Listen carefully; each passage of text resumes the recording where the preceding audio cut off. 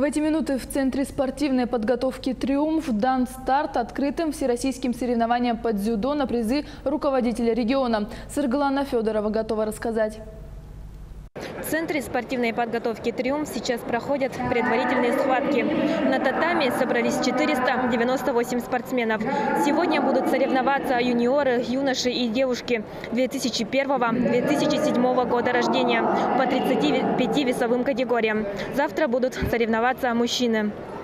Почетные гости соревнований – чемпион Олимпийских игр 2012 года в Лондоне Арсен Галстян, вице-президент Федерации дзюдо Тамерлан Тменов и исполнительный директор Федерации дзюдо России Валентин Хабиров. В состязаниях принимают участие семь команд из команды из семи регионов России. Также дзюдоисты Монголии. Стоит отметить, что в республике дзюдо по массовости не уступает вольной борьбе. Сегодня в Якутии дзюдо занимается более двух тысяч человек.